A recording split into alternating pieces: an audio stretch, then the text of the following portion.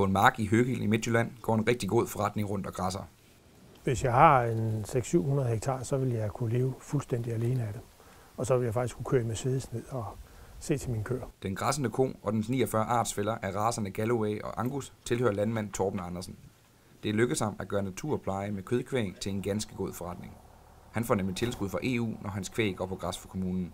Det jeg får ud af det, det er en forretning, der handler om, at der er et tilskud til det. Og det tilskud, det er sådan, at en øh, ko, den kan cirka trække mellem 10 og 15.000 hjem i tilskud. Og så er der kalden, og kalden den øh, giver i størrelsesorden 3-4.000 kroner. Det øh, er en rimelig god forretning. Det er faktisk bedre end bare at have traditionel kødkvæg. At forretningen er god, forklarer Torben Andersen også med, at naturplejen klares med meget få udgifter. Jeg gør det, jeg har køren til at gå ud hele året rundt, og så får de kaldene om sommeren, og de kalde de får lov at gå til næste år, og så om efteråret, så blev de slagtet. Og det vil sige, de kommer aldrig nogensinde til at, at spise korn som kraftfor.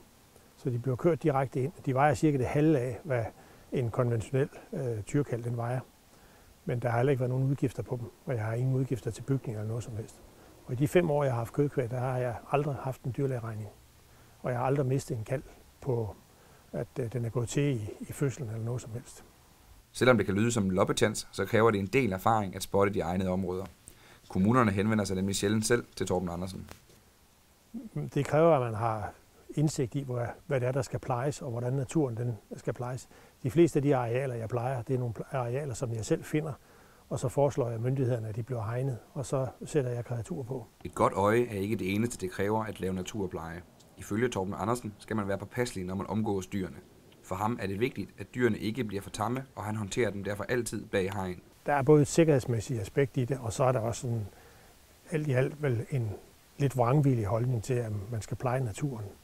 Hvad er natur? Hvad er overhovedet definitionen på natur? Torben Andersens dyr laver naturpleje for både Forsvaret og Viborg Kommune. Et af områderne er omkring Kavbo i Hygil. Et naturskønt område, der har stor glæde af dyrenes afgræsning. Det vi ser her, det er Kavbo, som jo er en af Danmarks enestående fiskevand. Og her, her ligger åen fuldstændig som den har ligget lige siden istiden, hvor den har fået lov at gnave sig ned i landskabet. Der er ingen, der har forsøgt på at regulere den, og det betyder, at naturrigdommen her den er helt på toppen. Et andet område, hvor Torben Andersens dyr laver naturpleje, er på militærets øvelsesterræn i Grove. Her forhindrer køernes afgræsning området i at bryde i skov. Men når man kigger fra hegn af og så kigger ud, så kan man tydeligt se forskellen på, hvad det er, der er pleje og hvad der ikke er pleje. Så det viser jo med al tydelighed, hvor god en idé det er at lave naturpleje.